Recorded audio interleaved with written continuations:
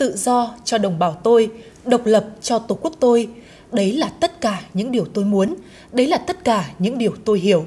Đó là quyết tâm cháy bỏng của người thanh niên yêu nước Nguyễn Tất Thành khi đặt chân lên con tàu Amiran Latusser Terevin cách đây tròn 111 năm, ngày 5 tháng 6 năm 1911 tại bến cảng Nhà Rồng, bắt đầu chuyến hành trình tìm đường cứu nước.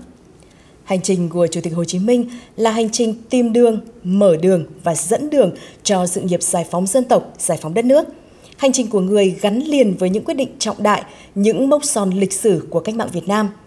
Đó là con đường cứu nước thích hợp nhất để dẫn dắt dân tộc Việt Nam giành lại độc lập tự do.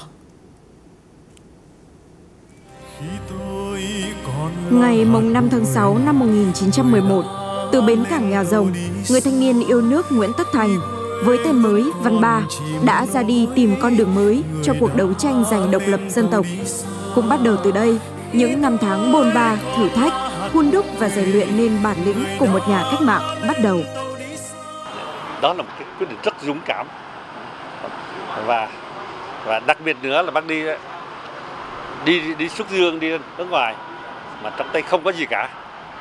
có người hỏi bác lấy tiền đâu mà đi bác bác giơ hai bàn tay bác nói tiền đây tức là đi bằng ý chí đi bằng cái, cái quyết tâm của mình. Với lập trường yêu nước đúng đắn người vạch ra chân lý muốn cứu nước và giải phóng dân tộc không có con đường nào khác con đường cách mạng vô sản. Từ cảng Sài Gòn, từ đất Sài Gòn người ra đi tìm đường cước chúng ta sẽ thấy được là nó hoàn toàn phù hợp với ờ, một cái tâm nguyện của người, đáp ứng cái yêu cầu của người để muốn đi nước Pháp và các nước xem người ta làm như thế nào rồi sẽ trở về với đồng bào chúng ta. Người đã bắt đầu những bước chân đó từ Sài Gòn, từ cảng Sài Gòn như vậy. Giáo sư tiến sĩ nhà văn Trình Quang Phú đã có nhiều tác phẩm viết về Chủ tịch Hồ Chí Minh, trong đó có cuốn Đường Bắc Hồ đi cứu nước. Theo ông, ánh sáng của chủ nghĩa Mark Lenin mà phải mất 30 năm bôn ba nước ngoài, người mới tìm được thực sự là kim chỉ nam về giải phóng giai cấp, giải phóng dân tộc khỏi áp bức bất công. Và bằng đường lối cách mạng đúng đắn, Hồ Chí Minh đã thành công khi dựng ngọn cờ tập hợp quần chúng nhân dân đồng lòng theo đảng để giành lại độc lập cho dân tộc và tự do cho nhân dân mình. Lúc mà bác về tới Quảng Châu là bác tập hợp một số thanh niên sang đó để học. Bác ra tờ báo Thanh niên là tờ báo cách mạng đầu tiên của nước của nước mình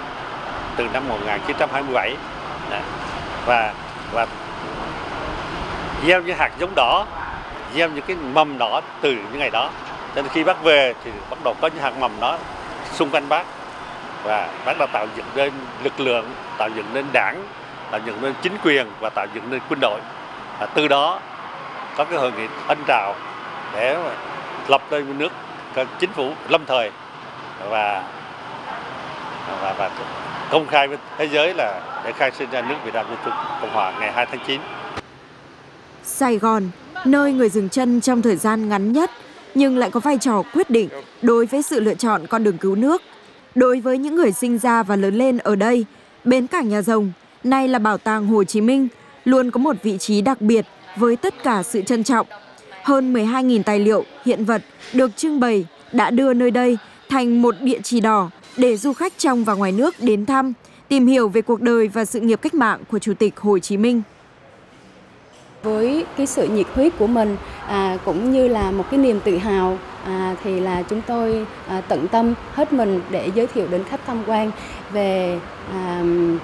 tình cảm của bác Hồ đối với nhân dân miền Nam là về cuộc hành trình ra đi tìm đường cứu nước của bác, một cái cuộc trường chinh rất là vĩ đại. Nhắc lại hành trình 30 năm ra đi tìm đường cứu nước của Chủ tịch Hồ Chí Minh, mỗi chúng ta đều khắc ghi trong tim lòng biết ơn vô hạn đối với những hy sinh mà người đã trải qua trong suốt 30 năm bôn ba tìm đường cứu nước. Hành trình ấy cũng như lý tưởng của người sẽ mãi là biểu tượng của tinh thần yêu nước, ý chí cách mạng, sẵn sàng hiến dâng cả cuộc đời mình vì Tổ quốc, vì nhân dân để thế hệ hôm nay học tập và noi theo.